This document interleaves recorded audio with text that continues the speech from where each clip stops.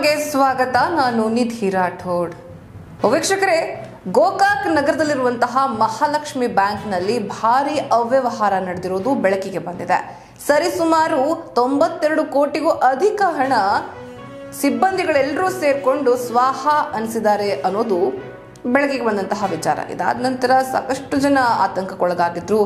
ಬ್ಯಾಂಕ್ನ ಮುಂದೆ ಬಂದು ಜಮಾ ಆಗ್ತಾ ಇದ್ರು. ನಮ್ಮ ಹಣವನ್ನು ವಾಪಸ್ ಕೊಡಿಸಿ ಅಂತ ಆಗ್ರಹ ಪಡಿಸ್ತಾ ಇದ್ರು. ಇನ್ನು ಈ ಒಂದು ವಿಚಾರಕ್ಕೆ ಸಂಬಂಧಪಟ್ಟ ಹಾಗೆ ಇವತ್ತು ಗೋಕಾಕ್ನ ಶಾಸಕರಾಗಿರುವ ರಮೇಶ್ ಜಾರಕಿಹೊಳಿ ಅವರು ಒಂದು ಹೇಳಿಕೆಯನ್ನು ಕೊಟ್ಟಿದ್ದಾರೆ ಅಥವಾ ಒಂದು ಭರವಸೆಯನ್ನು ಕೊಟ್ಟಿದ್ದಾರೆ ಜನರಿಗೆ ಅಂತ ಹೇಳಬಹುದು. ಈ ಒಂದು ಬ್ಯಾಂಕ್ನಲ್ಲಿ ಅವ್ಯವಹಾರ ನಡೆದಂತಹ ಹಣವನ್ನ ಜನರಿಗೆ ಯಾರ್ಯಾರಿಗೆ ಎಷ್ಟೆಷ್ಟು ಬರಬೇಕಾಗಿತ್ತೋ ಅವರವರಿಗೆ ವಾಪಸ್ ಕೊಡಿಸೋ ಕೆಲಸ ಮಾಡ್ತೀವಿ ಅಂತ ಹೇಳಿದ್ದಾರೆ.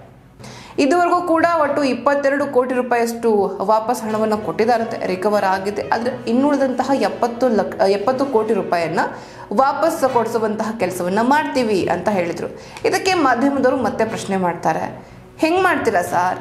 ಇವಾಗ ಈ ಹಣ ನುಂಗ್ದವ್ರೆಲ್ಲರೂ ಕೂಡ ಆಸ್ತಿ ಪಾಸ್ತಿಯನ್ನು ಖರೀದಿ ಮಾಡಿದ್ದಾರೆ. ಅದನ್ನ ವಾಪಸ್ ಮಾರ್ಬಿಟ್ಟು ಹಣ ವಾಪಸ್ ತಗೊಂತೀರಾ? ಏನು ಮಾಡ್ತೀರಾ ಅಂತ ಕೇಳಿದಕ್ಕೆ ಕಾನೂನಿನ ಚೌಕಟ್ಟಲ್ಲಿ ಯಾವ ರೀತಿ ಕ್ರಮವನ್ನು ಕೈಗೊಳ್ಬೇಕು, ಅದನ್ನ ಫಾಲೋ ಮಾಡ್ತೀವಿ ಅಂತ ಹೇಳಿದ್ರು.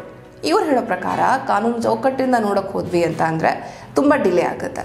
ಕೋರ್ಟು ಕಚೇರಿ ಅಂತ ಅಲಿಬೇಕಾಗತ್ತೆ ಹೀಗಾಗಿ ನಡುಮಾರ್ಗ ಏನಾದರೂ ಇತ್ತು ಅಂತ ಅಂದರೆ ಅಂದರೆ ಕಾನೂನು ಚೌಕಟ್ಟಿಗೆ ಹೋಗದೆ ಕೋರ್ಟು ಕಚೇರಿ ಅಂತ ಜನ ಅಲಿಯುವಂಥ ಪರಿಸ್ಥಿತಿ ಬಾರದಂತೆ ಮಧ್ಯದಲ್ಲಿ ಏನಾದರೂ ಮಾರ್ಗ ಸಿಕ್ಕುತ್ತಾ, ಬೇರೆ ಏನಾದರೂ ಮಾಡಬಹುದಾ ಅಲ್ಟರ್ನೇಟ್ ಸೊಲ್ಯೂಷನ್ ಅನ್ನ ಹುಡುಕ್ತೀವಿ ಅಂತಲೂ ಕೂಡ ಶಾಸಕರು ಭರವಸೆಯನ್ನು ಕೊಟ್ಟಿದ್ದಾರೆ. ಶಾಸಕರು ಮತ್ತೊಂದು ಮಾತನ್ನು ಹೇಳ್ತಾರೆ. ಇಲ್ಲಿ ಅಂದರೆ ಒಬ್ಬರು ಪ್ರಶ್ನೆಯನ್ನು ಮಾಡ್ತಾರೆ. ಸರ್, ಸಣ್ಣ ಪುಟ್ಟ ಅಮೌಂಟ್ ಇದ್ದಂಥವ್ರು ಅವ್ರಿಗೆ ವಾಪಸ್ ಕೊಡ್ತೀರಾ ನೀವು ದುಡ್ಡು? ಅವರು ಜಾಸ್ತಿ ಹೆದರ್ಕೊಂಡಿರೋಂಥವ್ರು ಅಂತಂದರೆ ಅವ್ರದ್ದು ಫಸ್ಟ್ ಕೊಡ್ತೀವಿ. ಸಣ್ಣ ಸಣ್ಣ ಅಮೌಂಟ್ ಇರುವಂಥವ್ರು ಫಸ್ಟ್ ಕೊಡ್ತೀವಿ. ಬೇರೆದದ್ದೆಲ್ಲ ದೊಡ್ಡ ದೊಡ್ಡ ಅಮೌಂಟ್ ಇದ್ದರೂ ಸ್ವಲ್ಪ ಲೇಟ್ ಆಗಬಹುದು ಅಂತ ಹೇಳಿದ್ದಾರೆ. ಅಲ್ಲದೆ ನನ್ನ ಮಗನ ದುಡ್ಡು ಕೂಡ ಇಲ್ಲಿ ಸಿಲ್ಕೊಂಡಿದ್ದೆ ಅಂತ ಕೂಡ ಹೇಳಿದರು. ಅವರಿಗೆ ಇಬ್ಬರು ಮಕ್ಕಳು ಅದರಲ್ಲಿ ಯಾರ್ದು ಅಂತ ಗೊತ್ತಿಲ್ಲ. ಆದರೆ ಈ ಮಾತನ್ನು ಕೂಡ ಅವರಲ್ಲಿ ಮೆನ್ಷನ್ ಮಾಡಿದ್ದಾರೆ. ನನ್ನ ಮಗನ ಹಣ ಹಣ ಕೂಡ ಇಲ್ಲಿ ಸಿಲ್ಕೊಂಡಿದೆ ಅನ್ನುವಂಥದ್ದು. ಸೊ ಇದೆಲ್ಲವನ್ನ ನೋಡಿದ್ರೆ ಶಾಸಕರು ತುಂಬಾ ಮುತುವರ್ಜಿ ವಹಿಸ್ತಾ ಇದ್ದಾರೆ, ತುಂಬಾ ಇಂಟ್ರೆಸ್ಟ್ ತೋರಿಸ್ತಾ ಇದ್ದಾರೆ, ಜನರ ಸಮಸ್ಯೆಯನ್ನು ಬಗೆಹರಿಸೋದಕ್ಕೆ. ಅದರಲ್ಲೂ ಈಗ ಪೊಲೀಸರ ಕೈವಶದಲ್ಲಿರುವಂತಹ ಈ ಕೇಸ್ ಅಂದರೆ ಈಗ ಎಫ್ ಐ ಆಗಿದೆ, ಪೊಲೀಸರು ತನಿಖೆ ಕೂಡ ನಡೆಸ್ತಾ ಇದ್ದಾರೆ.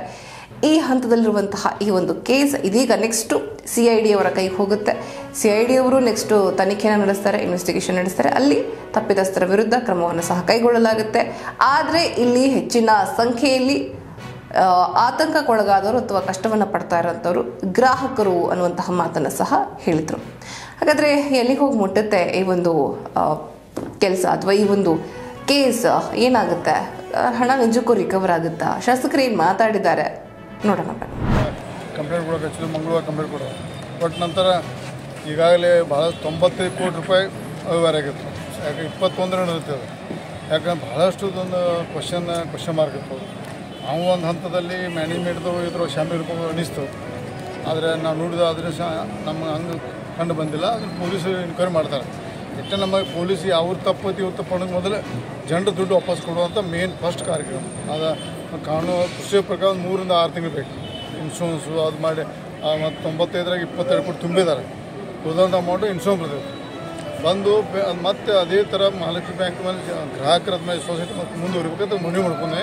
ಯಾಕೆ ಭಾಳಷ್ಟು ಭಾಳ ಸಹ ಮಂಗಳಕರು ಭಾಳ ಕಷ್ಟಪಟ್ಟ ಬ್ಯಾಂಕ್ನಲ್ಲಿ ಮಾಡಿದ್ದಾರೆ. ಅಲ್ಲಿ ಫ್ರಾಡ್ ಆಗುವಂಥ ಸಂದರ್ಭದಲ್ಲಿ ಆಗಿದೆ ದುರ್ದೈವ ಸರಿಪಡಿಸಿ, ಇದು ಆದಷ್ಟು ಶೀಘ್ರದಲ್ಲೇ ಗ್ರಾಹಕರ ದುಡ್ಡು ಮುಗಿಸೋ ವ್ಯವಸ್ಥೆ ಮಾಡ್ತಾರೆ ಸರ್ ಈಗ ಆರೋಪಿ ಕಡೆ ಅವ್ರ ಆಸ್ತಿ ಮಾರಿ ಅವ್ರ ದುಡ್ಡು ವಾಪಸ್ ಕೊಡ್ತೀರಿ ಯಾವ ಥರ ಮಾಡಿ ನೋಡ್ರಿ ಅದು ಕಾನೂನು ಚೌಕಟ್ಟಿನ ಪ್ರಕಾರ ಯಾಕಂದ್ರೆ ಈಗ ಒಂದು ಈಗ ಆರ್ ಬಿ ಐ ಕಂಟ್ರೋಲ್ ಹೋಗ್ಬಿಟ್ಟಿದೆ ಬ್ಯಾಂಕ್. ಆಮೇಲೆ ಪೊಲೀಸ್ ಹೋಗುತ್ತೆ ಪೊಲೀಸ್ ಮುಖಾಂತರ ಶೇಡ್ ಯಾಕಂದ್ರೆ ಹೋಗ್ತದೆ ಯಾಕೆ ಪ್ರೊಸೀಜರ್ ಪ್ರಕಾರ ಮಾಡಿದ್ರೆ ಭಾಳ ಡಿಲೇ ಆಗ್ತದೆ ಅದೆಲ್ಲ ಮಾಡ್ಬೇಕಾರೆ ಎಷ್ಟು ಅದಕ್ಕೆ ನಾವು ಏನೋ ಒಂದು ವಾಯ ಮೀಡಿಯಾ ಹುಡ್ಕೋದು ಕೆಲವೊಂದು ಮಾಧ್ಯಮದ ಹೇಳ್ಬೋದು ನಾವು ಸರ್ಕಾರ ಸ ಅವ್ರ ಸರ್ಕಾರ ಪೊಲೀಸ್ ಹೇಳ್ಬೋದು ಅದು ಸರ್ಕಾರ ಮಾತಾಡ್ಕೊಂಡು ಆದಷ್ಟು ಬೇಗ ನಾವು ಕಾನೂನು ಚೌಕಟ್ಟು ಅನ್ಕೊಂಡು ಕೂತ್ರೆ ಪಾಪ ಬಡವರು ರೊಕ್ಕ ಒಂದು ಆದಷ್ಟು ಶೀಘ್ರ ಮುಗಿಸುವಂಥ ನಡು ದಾರಿ ಹುಡುಕಾತು ಅಂದ್ರೆ ಕೆಲವು ಸಲ ಬಡವ್ರ ಜನ ಏನಿದೆ ಒಂದು ಆತಂಕದ ಇದ್ದ ಇದ್ದಾರೆ ಅಂತಂದ್ರೆ ಸರ್ ಇದು ಸ್ಕಾಲರ್ಶಿಪ್ ಹಣಗಳೆಲ್ಲ ಅಲ್ಲೇ ಇದಾವೆ ಸರ್ ಈಗ. ಲಕ್ಷ ಗಂಟ್ಲೆ ಎರಡು ಸಾವಿರ ಗಂಟೆ ದುಡ್ಡು ಬರ್ತಾವೆ ನಮಗೆ ಬರಂಗಿಲ್ಲ ಅಂತ ಒಂದು ಒಂದು ಆತಂಕದಲ್ಲಿ ಇದ್ದಾರೆ ಸರ್. ಲಕ್ಷ? ಲಕ್ಷ ಗಂಟ್ಲೆ ಏನು ಹೈಯೆಸ್ಟ್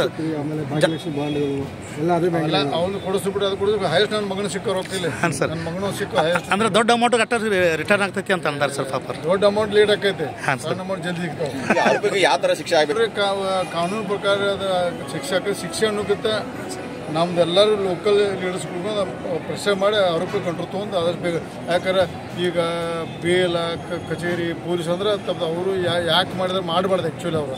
ಅದು ಒಂದೇ ಸಮಾಜದವರು, ಒಂದೇ ಸಂಬಂಧಿಕದವರು. ಇಂಥ ಬ್ಯಾಂಕ್ ಕಷ್ಟಪಟ್ಟು ಮಾಡೋದು, ಇಂಥ ಮಾಡಿ ಮಾಡಿ ಏನು ಉಂಡ್ರೆ ಮತ್ತು ಹೊಳಿ ಆಸ್ತಿ ಒಳಗೆ ಕೊಡಬೇಕಲ್ಲ. ಅದೇನು ಅದಕ್ಕಿಂತ ನಮ್ಮ ಹಾಳಾಯ್ತು ಹಾಳಾತು. ಒಂದು ಬ್ಯಾಂಕ್ ಇಂಥ ದೊಡ್ಡ ಬ್ಯಾಂಕ್ ಹಾಳಾತು. ಗ್ರಾಹಕರ ದುಡ್ಡು ವಾಪಸ್ ಕೊಡ್ತೀವಿ ನಾವು.